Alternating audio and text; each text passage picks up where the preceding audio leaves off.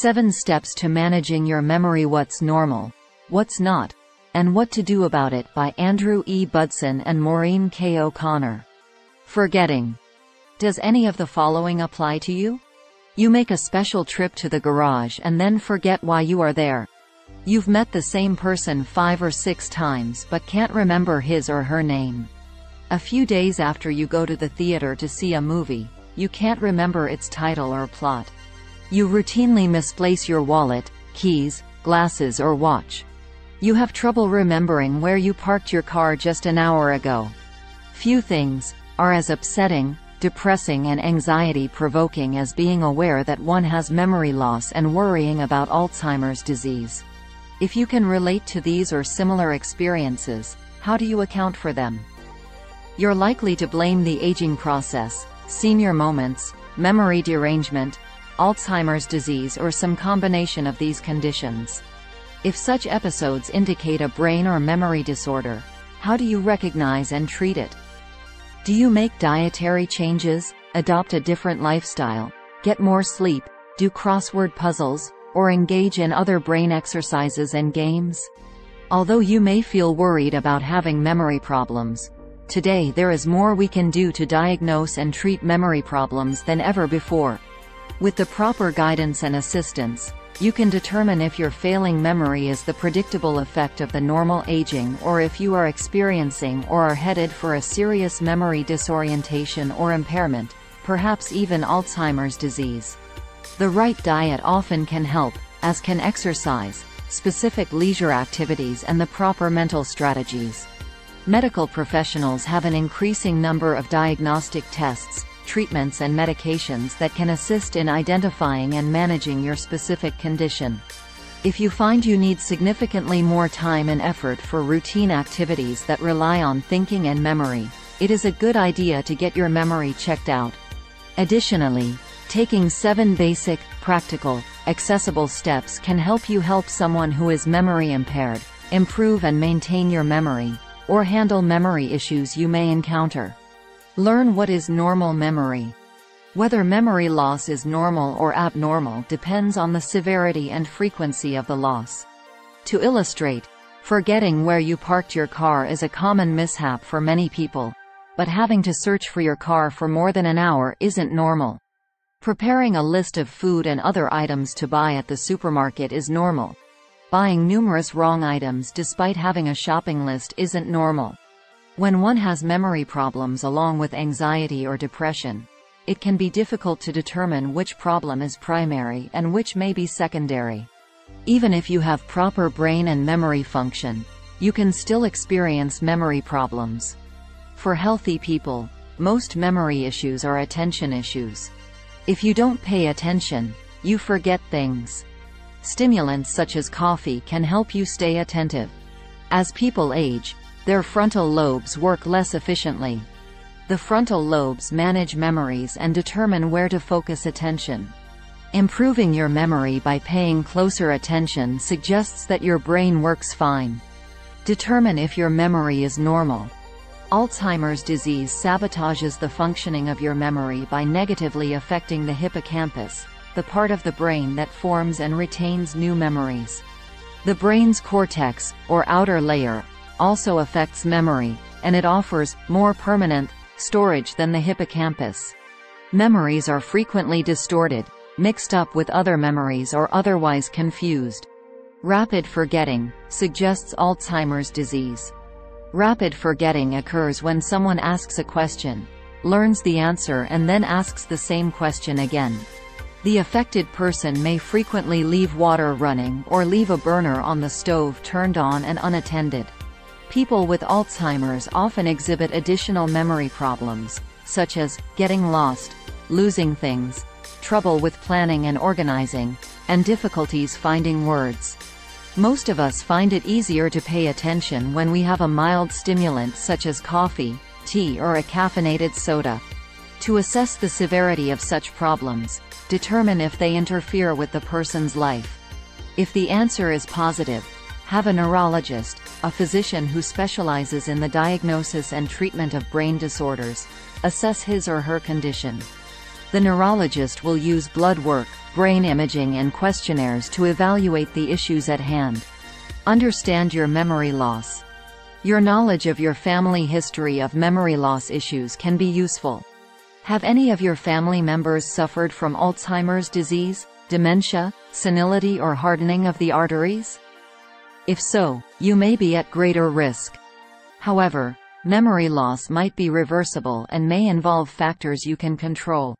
One of the most common causes of memory impairment is the side effects of medications.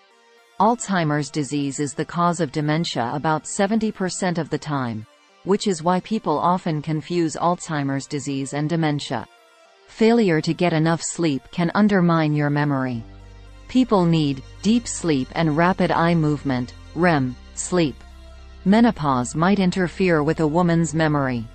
To date, scientists have been unable to determine with 100% certitude that changes in estrogen and progesterone due to menopause cause memory loss in women. Such memory loss may occur simply because the women who experience it are middle-aged. Many people notice memory problems when they reach their middle years.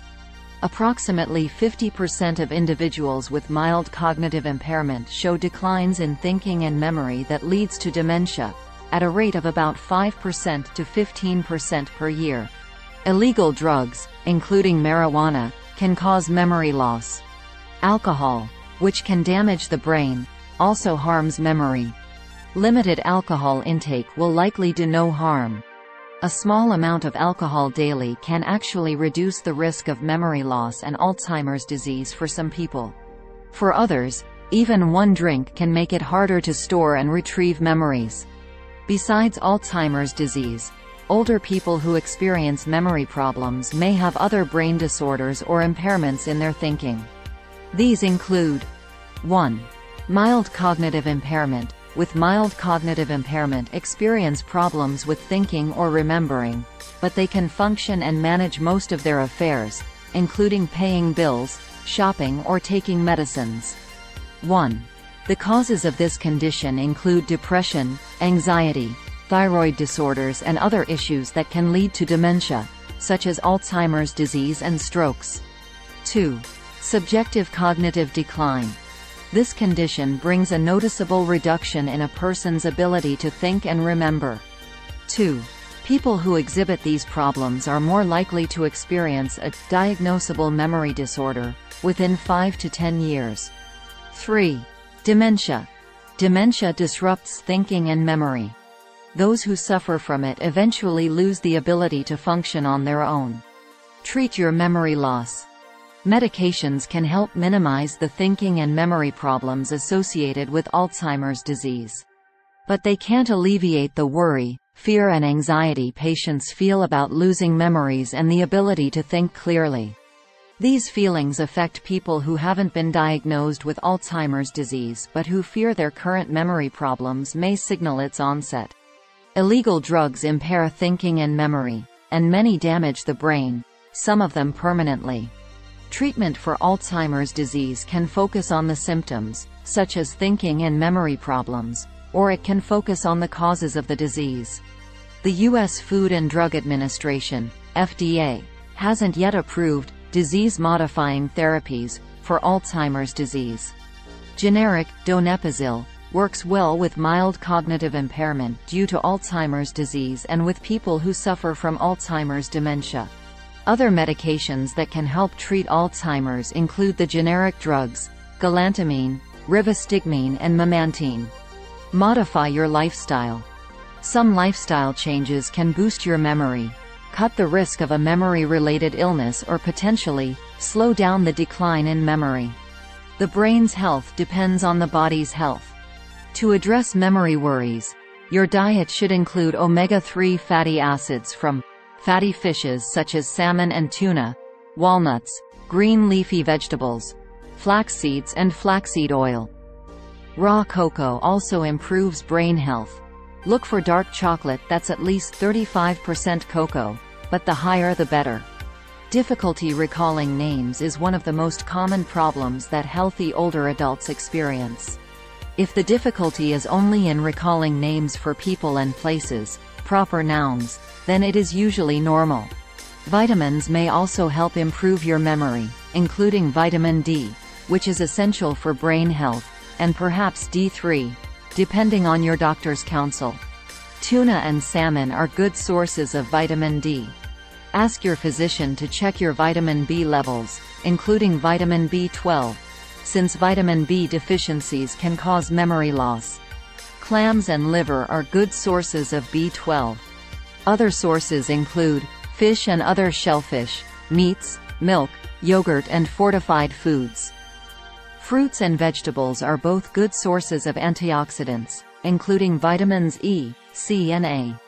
Not paying enough attention is the number one reason that healthy individuals experience difficulty remembering names, events and that thing you went into the other room to get. A balanced diet foments physical and brain health. The Mediterranean diet, for example, includes fish, vegetables, olive oil, avocado, nuts, fruit, beans, whole grains, including bulgur, barley and brown rice, and red wine. The MIND diet may help protect against Alzheimer's disease.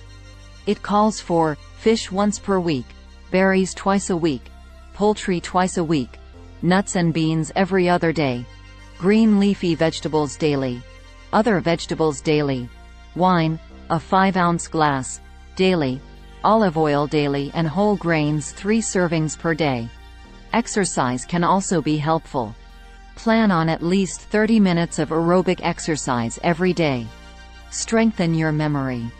Companies that offer anti-aging brain training products and services operate in a super growth industry that's on pace to achieve $4 billion to $10 billion in annual sales by 2020. These firms manufacture and sell brain training games and related products that supposedly improve memory and boost the thinking processes. Memory is transient. Things we remember don't tend to stick around forever. However, in 2016, the U.S. Federal Trade Commission reported that many companies make unrealistic claims. The FTC fined some firms for fraudulent practices. Don't waste your money and time on such products. They do little to improve brain health. What does work is engaging in new activities that move you out of your comfort zone such as starting a fresh hobby, learning how to do something new or traveling to a place you haven't already visited. You could find a class or learn a new sport. The most productive activities have mental, physical and social components. Spending a large part of your time watching TV may actually move you closer to eventual dementia. Plan your future. How must someone's life change if a neurologist confirms a physical memory impairment or disorder? Practical suggestions include 1. Get help from family or friends when investing and managing money. Memory dysfunction may affect your financial judgment. 2. Avoid telemarketers. Register your phone number with the National Do Not Call Registry. 2. Unfortunately, some hucksters may still call. 2. Monitor and manage all calls through caller ID. 2. If you don't have a phone with this feature, get one. 2. Only answer calls from people you know. 3. Invite a family member or friend to go for a drive. People with brain disorders may be unsafe drivers and should ask a trusted person to ride with them on local trips. 3. This friend or relative can assess whether continuing to drive is a good idea. 3. The patient will want someone else to make this judgment. 3. When it comes to driving, people are seldom objective about themselves. 4. Take care of legal matters now. Someone whose memory is in jeopardy should have a legal will and should designate power of attorney to a trusted relative, friend or professional. 4. This person should also have the power to make health care decisions. 5. Give away guns and power tools. These are dangerous hazards for people with brain disorders. Get the support you need. Look for resources that provide good care. Visiting nurses and home health aides, as well as Meals on Wheels, may enable people with fading memory to stay in their own homes. Take A ways. 1. As they age, many people become increasingly fearful of Alzheimer's disease. 1. This is a legitimate concern. 1. Every elderly person could be at risk. 2. People of all ages can become forgetful. 3. Implement a seven-step program to control and optimize your memory. 4. Step 1. Learn what differentiates normal memory from impaired memory. 5. Step 2. Establish whether your memory works properly. 6. Step 3. Discover the causes of memory loss. 7. Step 4. Find the most effective ways to treat memory loss. 8. Step 5. Learn how to change your lifestyle to improve your memory. 9. Step 6. Determine how to build up your memory. 10. Step 7. Figure out how to adapt your life in the years to come to accommodate any future memory or thinking problems. Please like, share and subscribe for more videos. Thanks for watching.